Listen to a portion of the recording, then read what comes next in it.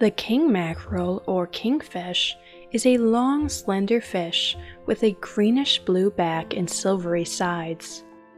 The fish's body has a forked tail and a lateral line that dips sharply after the second dorsal fin.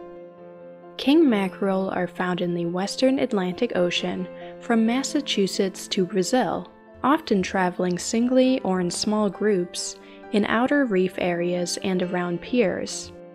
Large schools of king mackerel may migrate over considerable distances along the Atlantic coast.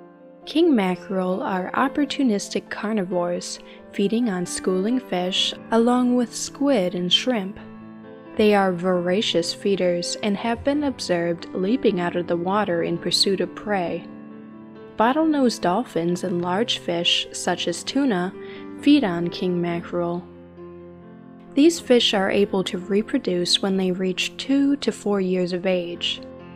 Spawning takes place on the outer continental shelf.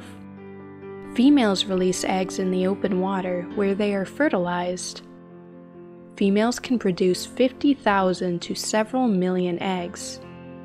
Juveniles may have yellowish spots. King mackerel grow fast, reaching up to 6 feet long. Females grow much larger than males. These fish can live more than 20 years. King mackerel are important for recreational, commercial, and artisanal fisheries throughout their range. For more marine facts, click the subscribe button.